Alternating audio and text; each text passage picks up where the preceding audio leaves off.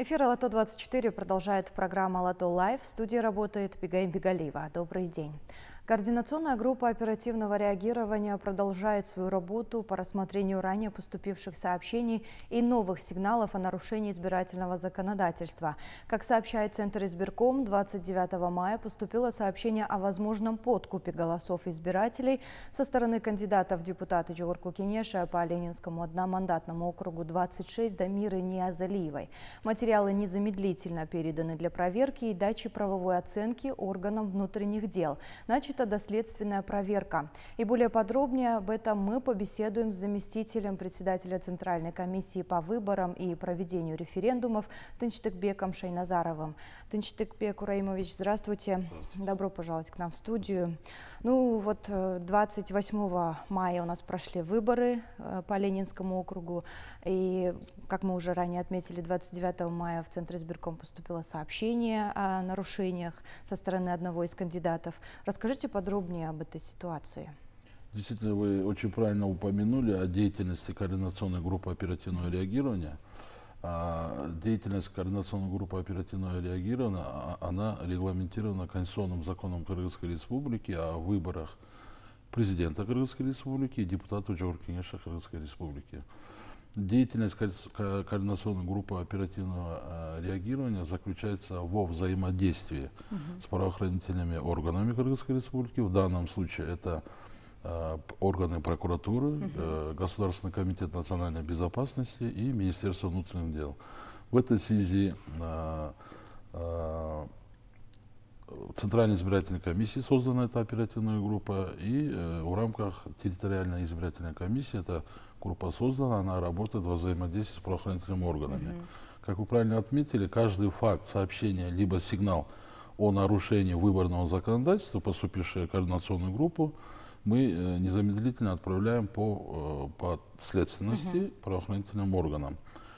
Э, что касается э, данного заявления, то по данному факту э, со стороны э, следственной службы управления внутренних дел Ленинского района возбуждено уголовное дело по статье о подкупе голосов угу. избирателей, и в настоящее время следователями осуществляется э, расследование. Угу. Что конкретно, какие мероприятия конкретно проводит милиция? А, учитывая, что э, уголовное дело возбуждено по статье о подкупе голосов угу. избирателей, в рамках данного факта проводятся все необходимые следственные действия. То есть это допросы, выемки, обыски, ну вот э, такого рода следственные мероприятия.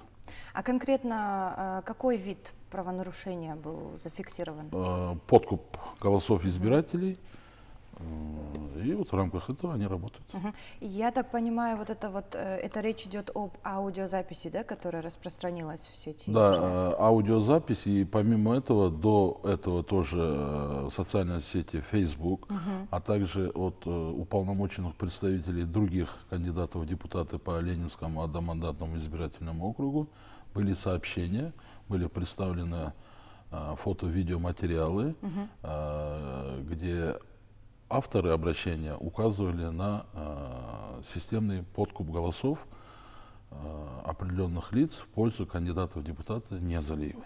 Угу. А со стороны других кандидатов, то есть в, наоборот, в адрес других кандидатов были ли такие да, сигналы? Да, тоже есть. Э, на сегодняшний день, вот э, с момента назначения выборов по Ленинскому одномандатному избирательному округу угу. по 28 мая всего поступило 12 сообщений о правонарушениях. Угу. Это я имею в виду те сообщения, которые поступили в координационную группу оперативного угу. реагирования. По характеру они выглядят следующим образом.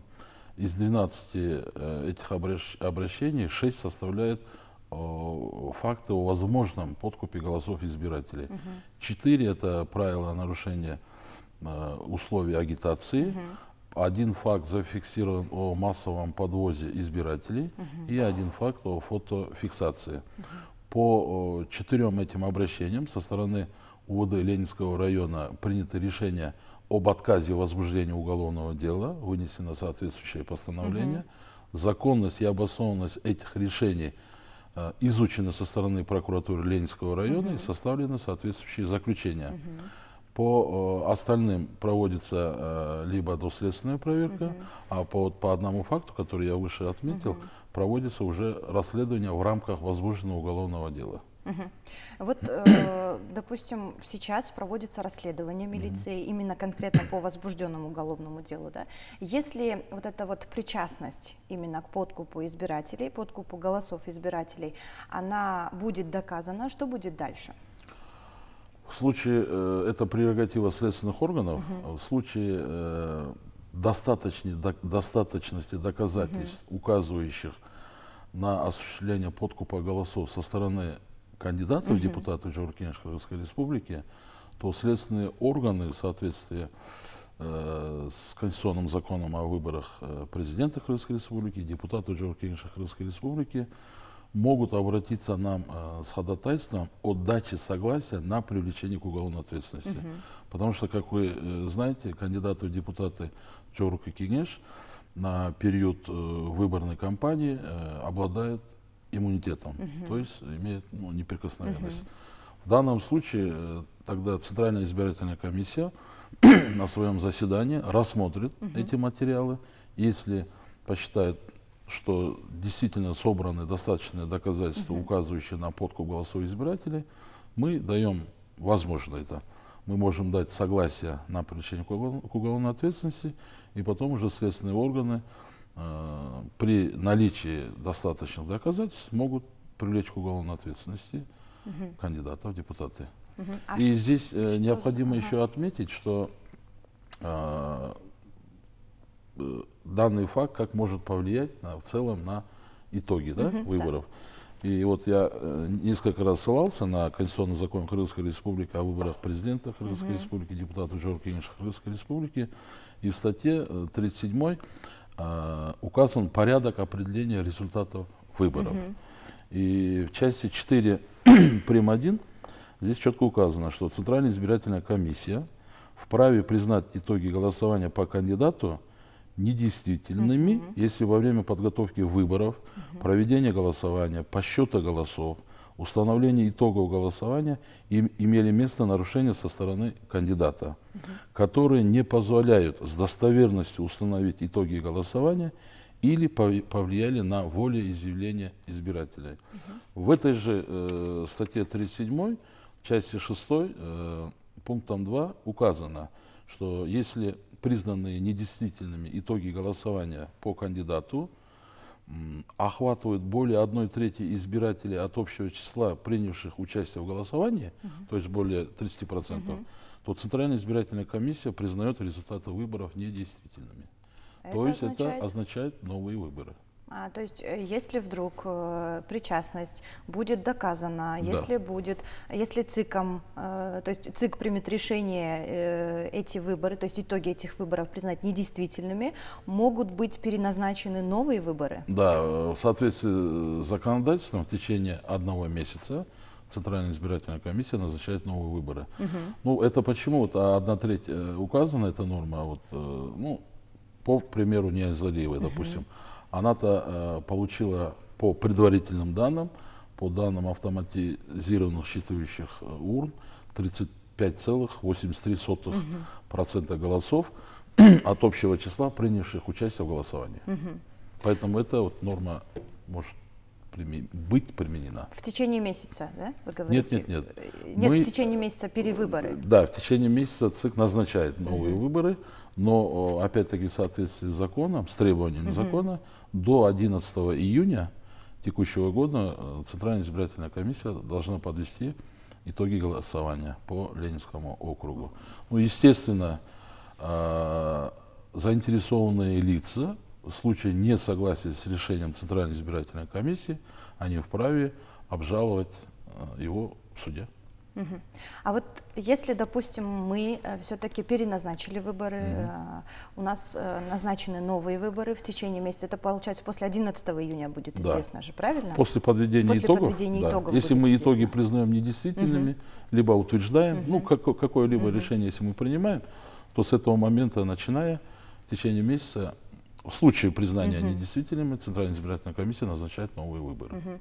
А в новых э, выборах, в новой гонке этот кандидат уже не может принимать не может, участие? Не может. Ага. А остальных... Потому что, потому что э, именно этот кандидат стал причиной э, отмены, отмены э, признания итога голосования недействительными. Угу. А остальные могут участвовать.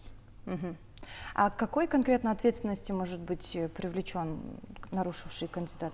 Ну, уголовный кодекс предусматривает, предусматривает уголовное преследование угу. э, и наказание в рамках уголовного кодекса. Угу. Это э, проводится расследование. Угу.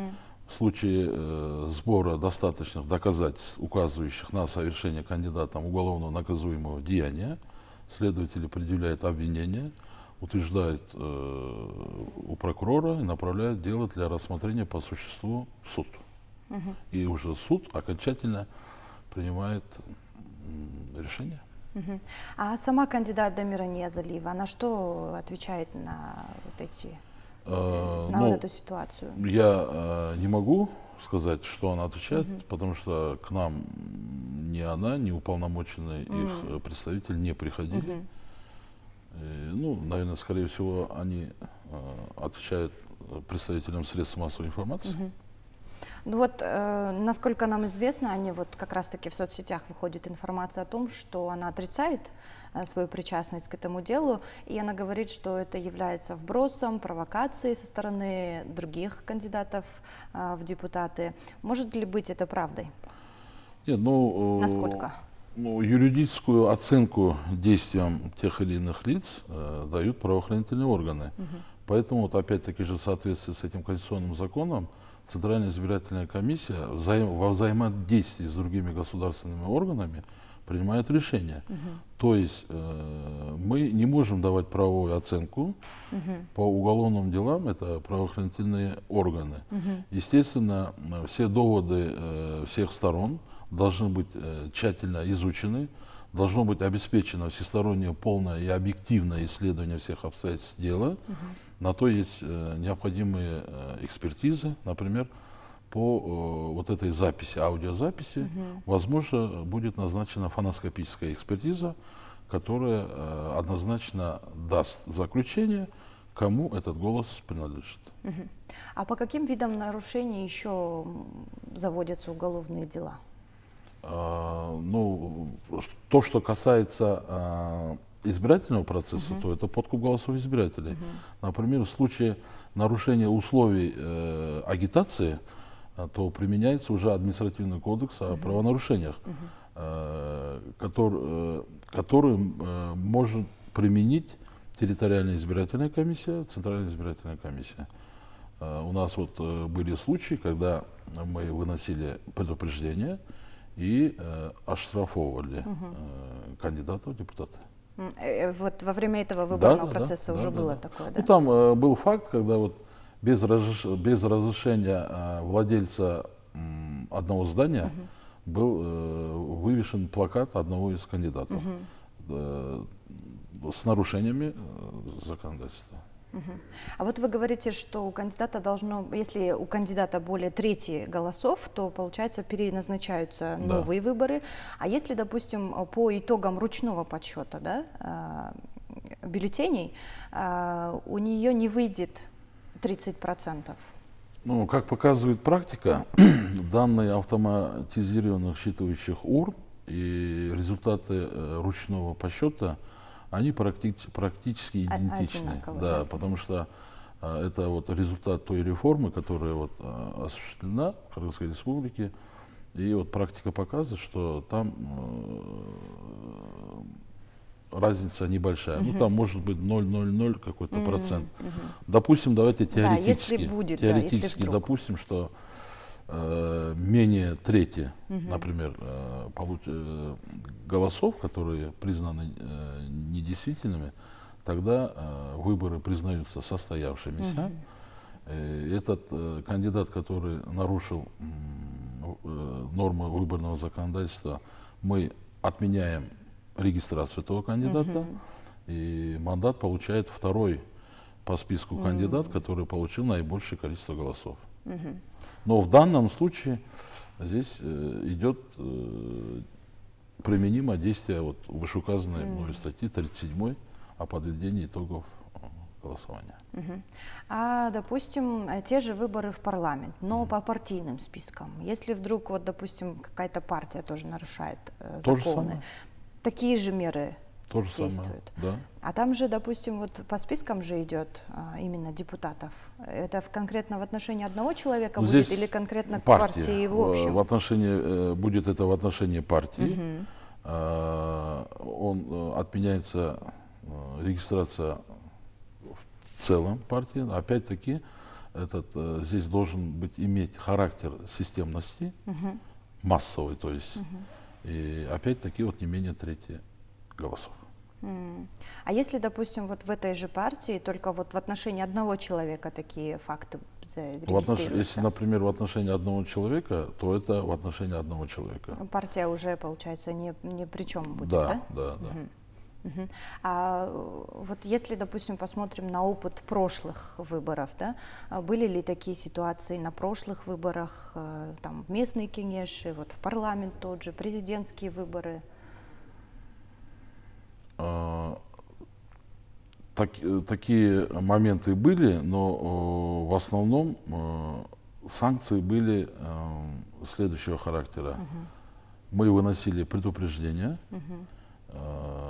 и по кандидатам, по одномандатным округам, мы также могли, ну, мы выносили предупреждения и оштрафовывали. Угу. А так, чтобы целиком снять партию с гонки, такого не было.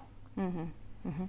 А вот смотрите, э, я вот ранее спросила да, насчет подобных случаев и на, нарушений со стороны других кандидатов, именно подкуп голосов. А, их тоже также привлекают к такой же ответственности? Или, э, Нет, а ответственность она одинакова. Угу. Подкуп голосов – это уголовно наказуемое деяние. Угу. Предусмотрено ну, там, вплоть до лишения свободы. Угу. Ну, это уже применяет суд, как говорится. Угу. И они все похожи здесь. Ну, опять-таки, видите, э, квалификацией э, правонарушений такого характера занимаются следователи правоохранительных угу. органов и надзирающий прокурор. Угу. Поэтому мне как-то вот не тактично говорить, угу. что ну там угу. толковать, квалифицировать, угу. говорить, что это вот так, что это угу. вот так потому что есть соответствующие государственные органы, в данном случае правоохранительные, они должны давать юридическую оценку действиям виновных лиц. Угу. То есть получается, если человек даже не попадает в лидирующие э, строчки, допустим, да, да, по-любому, если э, имеется факт подкупа да, голосов, да. и если это все стало известно, да. и при том, что это все доказано, то по-любому этот человек да. будет привлечен к уголовной ответственности. Да, э, и мы отменяем его регистрацию. И вне зависимости, сколько он голосов получил, угу. вне зависимости, победил он или угу. нет, пусть даже, может, он последнее место угу, занял, угу. все равно это распространяется на всех кандидатов. Угу. А на будущих выборах эти люди могут потом принимать участие? Э, виновные в нарушении кандидата, они не имеют права э, участвовать э, в новых выборах. Вообще никогда, получается? Нет. Э, ну Или ну, как, через ну, какое э, время аннулируется? Ну, э, сейчас же идут же выборы в седьмой созыв же. Угу. Это мы и, э, ведем разговор о седьмом созыве. Угу получается, только в этом да. созыве действует. Да. Да? Ага. Спасибо вам большое за предоставленные ответы. А я напомню, что 29 мая в Центр избирком а, поступило сообщение о возможном подкупе голосов избирателей со стороны кандидатов в депутаты Джугурку Кенеша по Ленинскому одномандатному округу Дамиры Незаливой. Материалы незамедлительно были переданы для проверки и дачи правовой оценки государственным а, правоохранительным органам э, и начата доследственная проверка. И более подробно на эту тему мы поговорили с заместителем председателя Центральной комиссии по выборам и проведению референдума э, Тынч Штыкбеком Шайназаровым. Спасибо, что были с нами. До встречи в эфире.